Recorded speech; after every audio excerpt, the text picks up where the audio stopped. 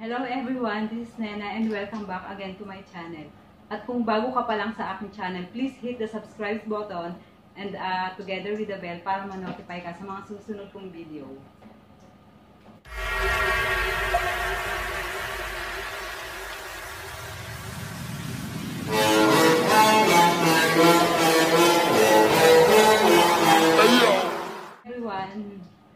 Bali ah, mag-unbox ako ng laptop. Dumating siya kahapon. So, i-unbox i-unbox ko siya ngayon.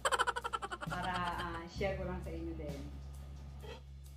Ito siya, HP laptop 15-DB0156AU. Okay, yan na siya. Manual. This, this na manual.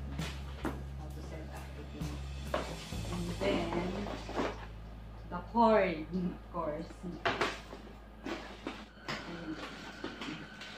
the adapter. Here.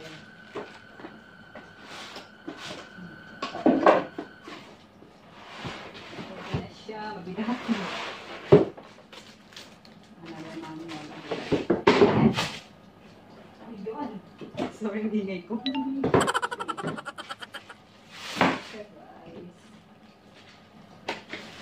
Guys. HP. HP ah, laptop. There. Medyo against the light yung cellphone. Bali, nabili ko siya ng ano siya. Bali, for 40,000 yen.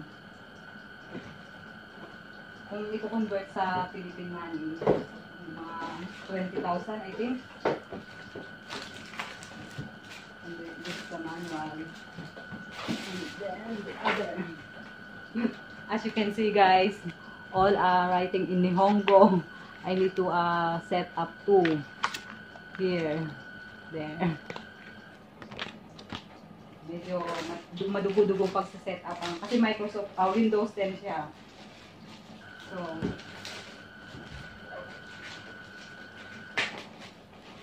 siya? Gusto ko sana ng kulay yellow eh, kaya lang walang yellow. Ayan na siya guys. Ito na, my new laptop. Ayan. Pa siya. Pero sigurado hindi pa siya na ano, na kasi alam ko hindi pa, yung sa friend ko kasi wala pa siyang, hindi pa naka fully charge. So, we need to charge this before setup, before the setup. Ano guys, siniset up ko na yung laptop para magamit ko na siya. Medyo mahirap kasi ano siya eh, Nihongo yung salita niya kaya kailangan kong i-set up pa siya sa English. Pero, later on pa yon Kailangan ko muna siyang ma-open, ma-set up muna yung Windows 10. Yan, medyo matagal yung loading niya. Kaya kailangan mag-antay. Ayan na siya. これから PC の設定に必要なサインインや Wi-Fi の準備 Ayan, lumabas na yung mga lugar. Bali, dito ko to sa Japan binili, kaya Japan yung nakalagay. Bali, wag nyo na siyang galawin, wag nyo na siyang dalhin kung saan saan. Bali, ipipress nyo na lang yung button sa baba.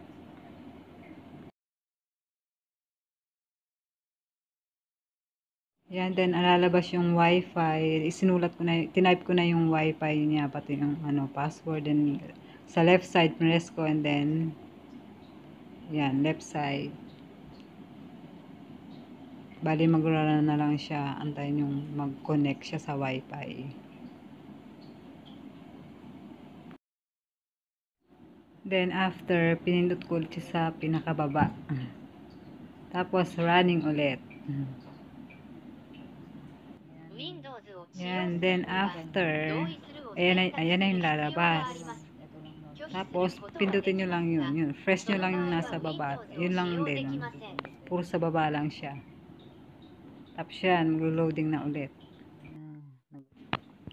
Yan, then after, pipindutin yung right side and then loading again. Tapos yan na yung lalabas. Wala na akong ibang pinin, eh, sinulat dyan. Bali yung email na sinulat nung una pa. Then after that, yan, pipindutin na yung baba. Then after mo map- mapindot yun, ayan na yung lalabas. Sulat mo naman dyan yung email. Kung ano yung email na pwede mong ilagay. Ayan na, nung natapos kong isulat yung ano, email na ipipress ulit dun sa pinaka, yan, yan, yung pinakababa na yan. Sa running ulit. Ayan, ayan naman ang lalabas, yung phone number. After isulat yung phone number, yan, ipipress ulit yung pinakailalim. Yan.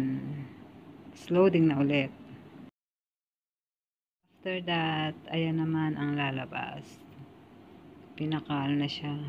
Pipindutin mo yung right side. After that, loading again. Another loading. Tapos, ayan na ulit. Sa right side ulit. Another loading.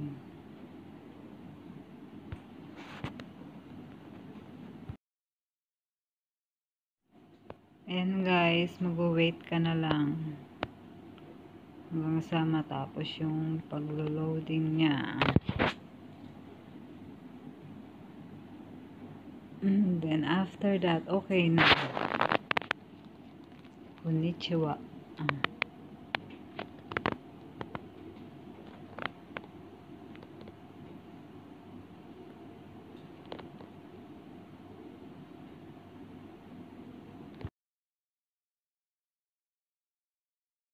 Eto na siya guys. Nag okay na siya na open ko na. Get started na ako later. Yan, get started. Hmm. Yan. Welcome to Best Windows.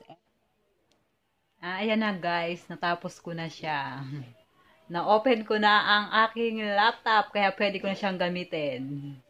Thank you again guys. Medyo against the light yung aking pwesto dito. Maraming maraming salamat ulit.